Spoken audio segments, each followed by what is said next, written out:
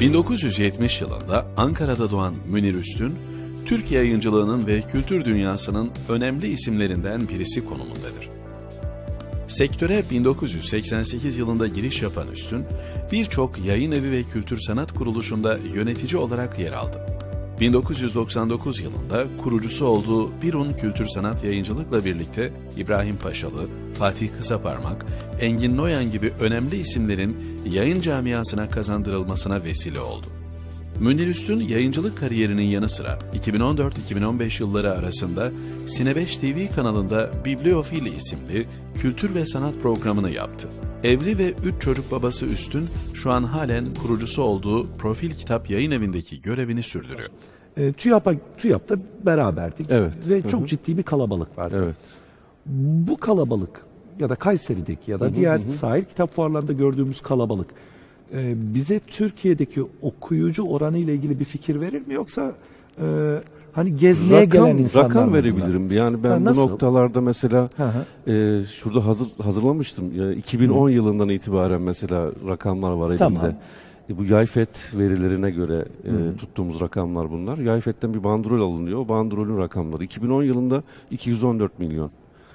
2011'de 289 milyon. 2012'de 293 milyon.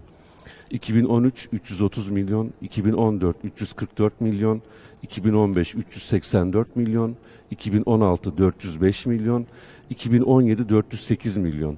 Yani bundan 4 gün önce 400 milyon rakamına ulaştık Yayfet Kitap olarak. satışı bu. Bu üretimi.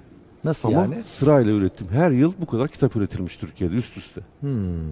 Bu sene biz e, 413 milyonla kapatmayı e, Hedefliyorsun. hede, hedefliyoruz değil öyle büyük ihtimalle ya Öngörüyorsunuz. 412 ya da 413 milyon civarında olacak. Bu iyi bir rakam mı? Çok iyi bir rakam. Artı devletin e, Milli Eğitim Bakanlığı'nın ücretsiz dağıttığı ders kitapları bunun üzerine koyuyorsunuz. O da 200 milyon adet civarında. Artı 48 sayfaya kadar olan kitaplar, bandrol taşınması zorunlu olmayan kitaplar. 100-150 milyon arasında da onları bunların üzerine koyuyorsunuz. 600 yani 750-800 milyon tane Türkiye'de kitap üretiliyor her yıl. Ne kadar okunuyor acaba? Buna dair bir istatistik yapmak Şimdi okunmasa üst üste bu kadar kitap yayınlanmaz. Bir çayı hak ettik değil mi Münir abi? Evet. Buyursunlar. Yani, Yani biz, okunmasa biz onu söylüyoruz. Yani şimdi zaten, değil mi? hadi şöyle diyelim. Ha. Türkiye'de eğitim yayıncılığı çok üst seviyede. Yani yüzde 50-55 e, bandında çok ders çalışan bir milletiz bir. Yani bizim öğrencilerimiz çok, Çok ders çalışan çocuklar. ders çalışıyorlar. Nereden biliyoruz bunu? Eğitim yayınlarına olan e, teveccühten biliyoruz. Hmm. Bunun yarısı eğitim yayınları diyelim. Üniversite 800 milyon yine 400 milyona geliyoruz. E, kişi başı ortalama 5-6 tane kitap düşüyor kişi başı. Eğitim yayınları hariç.